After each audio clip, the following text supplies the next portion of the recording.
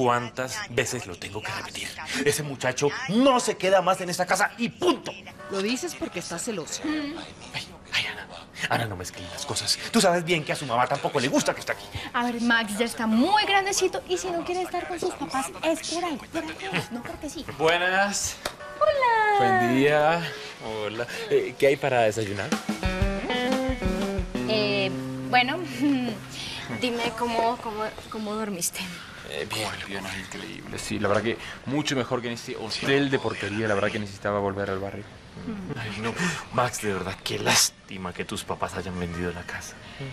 Pero la puede volver a comprar, ¿no? Sí, sí, a ver, mi mamá no quiere volver, pero mi papá sí.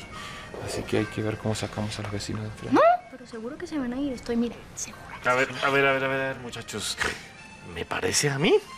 ¿O ustedes están intentando echar a los vecinos? Sí.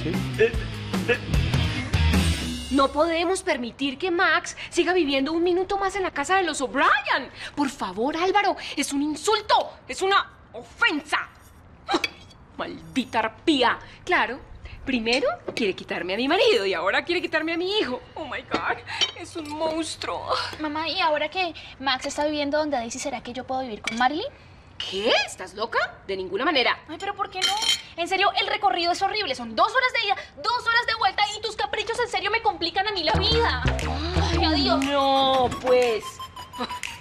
¿Qué puedo hacer, Álvaro? Pues déjalo que esté allá donde los O'Brien un tiempo. Después va a venir acá corriendo. Vas a ver. ¿Qué? Yo no voy a dejar a mi hijo a la deriva viviendo en una casa de locos. No, señor. Álvaro, si tú no te pones los pantalones, me los pongo yo. Chica Vampiro en Disney Channel.